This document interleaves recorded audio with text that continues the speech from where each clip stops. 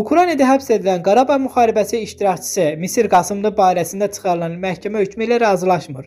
Qarabağ qazisi 8 il müddətinə azadlıqdan məhrum edilməsini özünə qarşı ədalətsizlik kimi qiymətləndirib. Misir Qasımlı vəkili Vareli Dobranitsa vasitəsilə Yeni Sabah.az açıqlamasında günahsız olduğunu iddia edib. O ağır cəzaya məhkum olunmasına görə Azərbaycanın Ukraynadakı səfiri Elmira Axundovanı günahlandırıb. Ukraynadakı səfirliyimiz hüquqlarımın müdafiəsi istiqamətində heç bir addım atmadı.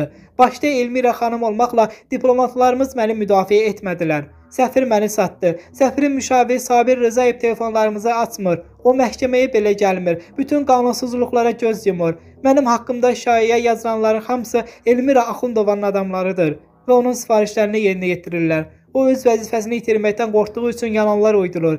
Mənim əlimdə video, şəkil, sənədlər var, amma səfirliyin qapısı özümüzə bağlıdır. Anam, bacım səfirliyə gedəndə onları qovurlar. Biz işi apellyasiyaya vermişik. Hətta vəkilin vasitəsilə Elmira Axundova və Sabir Rızayevdən şikayət etmişəm. Bizə kömək edən yalnız diaspordan Hikmət Cavaddır. O öz vəkili Antoli Volkovu da bu işə cəlb edib və hər məhkəmədə diaspordan nümayəndə iştirak edir. Amma səfirlikdən heç kim proseslərdə iştirak etmir.